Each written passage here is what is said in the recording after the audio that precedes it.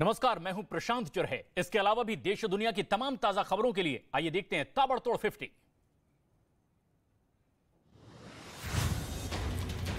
निधि हत्याकांड का आरोपी सुफियान गिरफ़्तार। लखनऊ पुलिस की मुठभेड़ में पैर में लगी गोली। आरोपी गिरफ़्तार। सुफियान पर पुलिस ने पच्चीस हज़ार के इनाम का किया था ऐलान। लखनऊ में निधि गुप्ता हत्याकांड के विरोध में विश्व हिंदू परिषद और बजरंग दल का प्रदर्शन। आरोपी को जल्द से जल्द फांसी देने की मांग। वाराणसी में श्रद्धा हत्याकांड के खिलाफ महिलाओं में आक्रोश विरोध में सड़क पर उतरी महिलाएँ। आफ्ताब का पुतला फूंककर फांसी की, की मांग। श्रद्धा मर्डर केस में दिल्ली पुलिस का गुरुग्राम सेक्टर 24 में सर्च ऑपरेशन। आफ्ताब के पुराने दफ्तर के पास करीब एक घंटे हुई तलाश। पॉलीथीन में कुछ सबूत इकट्ठा कर लौटी पुलिस। आफ्ताब की हैवानियत से जुड़ी श्रद्धा की पहली तस्वीर सामने आई। श्रद्धा के गले और चेहरे पर चोट के निशान दिखे। श्रद्धा को इलाज के लिए वसई के एक अस्पताल में करवाया गया था भर्ती। श्रद्धा मर्डर केस में तेज हुई पुलिस की जाँच। दिल्ली के 178 थानों से मंगाई गई मई जुलाई के बीच मिले अज्ञात शवों की रिपोर्ट। श्रद्धा मर्डर केस की जाँच का दायरा बढ़ा। दिल्ली पुलिस की टीम आफ्ताब को हिमाचल प्रदेश और उत्तराखंड भी लेकर जाएगी। आफ्ताब ने शव के कुछ टुकड़े देहरादून में भी फेंकने की बात मानी।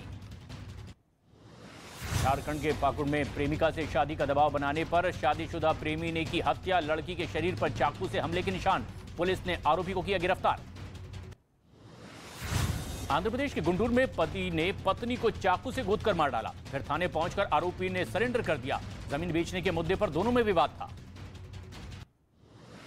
यूपी के मेरठ में रील्स बनाने के लिए उड़ाई जा रही थी कानून की धज्जियाँ। लोगों ने सोशल मीडिया से वीडियो डाउनलोड कर पुलिस में की शिकायत। हरियाणा के सिरसा के एक गाँव की महिला सरपंच का हर्ष फायरिंग का एक वीडियो वायरल हुआ। पुलिस ने कई धाराओं में केस दर्ज किया। झारखंड के साहिबगंज में मामूली बात में दो पक्षों के लोग आपस में भड़ गए। मारपीट में एक की मौत हो गई। दो लोग गंभीर रूप से घायल। बिहार के समस्तीपुर में दो पक्षों के बीच जमकर हुई मारपीट। चाकूबाजी में छह लोग गंभीर रूप से घायल हुए। बचाव करने गई पुलिस की टीम पर लोगों ने की पत्थरबाजी। मध्य प्रदेश के सतना में बच्चा चोरी के शक में एक आदमी को तालिबानी सजा। पहले जमकर की गई पिटाई, फिर अस्पताल के बाहर पेड़ से बांधकर आदमी को सजा दिए जाने का वीडियो हुआ वायरल। मध्य प्रदेश के बड़वानी में दो अधिकारियों के बीच भिड़ंत। दफ्तर के अंदर ही दोनों अफसर एक दूसरे पर लात भूसे बरसाते नज़र आए। मारपीट की घटना सीसीटीवी कैमरे में रिकॉर्ड हुई। मध्य प्रदेश के खरगोन में अवैध रूप से बने पेट्रोल पंप समेत चार गोडाउन को जमींदोज किया गया। मौके पर भारी संख्या में पुलिस बल और प्रशासनिक अमला भी मौजूद रहा। मध्य प्रदेश के देवास में पुलिस ने रेप के आरोपी की अवैध दुकान को बुलडोजर से ध्वस्त कर दिया। पुलिस ने आरोपी को महज छह घंटे के अंदर गिरफ़्तार किया। केरल कासरगोड से दिल दहला देने वाला वीडियो सामने आया है, जहाँ पर एक आदमी ने एक बच्ची को बेवजह उठाकर ज़मीन पर पटक दिया। सोशल मीडिया पर वीडियो वायरल हुआ। बिहार के रोहतास में आरजेडी विधायक फतेह बहादुर सिंह के खिलाफ आयकर विभाग की छापेमारी। विधायक के होटल पर भी छापे। आय से अधिक संपत्ति के मामले में की गई कार्रवाई। उत्तर प्रदेश के बहराइच में परिवार वालों ने लड़की का शव रख करके हंगामा किया। रेप के आरोपी को फांसी देने की मांग की। प्रशासन पर लगाया लापरवाही का आरोप। बिहार के कैमूर में कारतूस के जखीरे के साथ चार हथियार तस्कर गिरफ़्तार किए गए। टोल प्लाजा पर जाँच के दौरान पकड़े गए। एक कार से यूपी से बिहार लौट रहे थे सभी तस्कर। हरियाणा के अंबाला की सेंट्रल जेल में छापेमारी, चेकिंग के दौरान कैदियों से 16 मोबाइल फ़ोन, सिम चार्ज, कुछ बैटरी बरामद। पुलिस ने केस दर्ज कर शुरू की जाँच। मध्य प्रदेश के इंदौर में पचासी लाख की अवैध शराब को रोड रोलर चला करके नष्ट किया गया। पुलिस और आबकारी विभाग ने शराब माफियाओं के पास से जब्त की थी ये शराब। उत्तर प्रदेश के शाहजहांपुर में शराब तस्करों के खिलाफ कसा गया शिकंजा। पुलिस ने ढाई हज़ार लीटर से ज़्यादा शराब नष्ट की। यूपी के मोरेट में महिलाओं ने दुकान से उड़ाए गहने। सीसीटीवी में रिकॉर्ड हुई चोरी की घटना। राजस्थान के डूंगरपुर में नदी में फेंका गया 180 किलो से ज़्यादा विस्फोटक बरामद। पुलिस ने एक आदमी को गिरफ़्तार किया। जम्मू कश्मीर के उधमपुर से नशे के खिलाफ हुई बड़ी कार्रवाई। 800 किलो अफीम जब्त, दो लोगों को गिरफ़्तार किया गया। मध्य प्रदेश के मुरैना में गाँव में बाघ का आतंक। बाघ ने फ़ोटो खींचते वक्त पत्रकार पर किया हमला। वन विभाग की टीम बाघ की तलाश में जुटी। जयपुर के नाहरगढ़ की पहाड़ी पर नज़र आया तेंदुआ। स्थानीय लोगों में दहशत का माहौल। वन विभाग की टीम पर अनदेखी का आरोप। मुंबई पुणे एक्सप्रेसवे पर बड़ा सड़क हादसा हो। दो गाड़ियों की टक्कर में पाँच लोगों की मौत हो गई। गुजरात के गांधीनगर में स्कूल वैन को बस ने टक्कर मार दी। सीसीटीवी वीडियो में सामने आई यह घटना। जोरदार टक्कर में 10 बच्चे घायल हुए।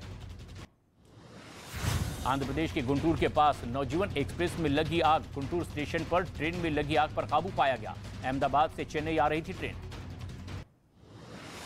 जम्मू कश्मीर में बर्फबारी का सिलसिला जारी है। पुंछ में बर्फबारी के बीच चार दिनों बाद यातायात के लिए मुगल रोड खोला गया। श्रीहरिकोटा स्पेस सेंटर से छोड़ा गया भारत का पहला प्राइवेट रॉकेट विक्रम एस आवाज़ की गति से पाँच गुना ज़्यादा रफ्तार से अंतरिक्ष में रवाना। आतंकी फंडिंग रोकने के लिए दिल्ली में नो मनी फॉर टेरर विषय पर ग्लोबल कॉन्फ्रेंस कार्यक्रम में पीएम मोदी ने कहा, आतंकवाद के खात्मे के लिए इसका नेटवर्क तोड़ना बेहद ज़रूरी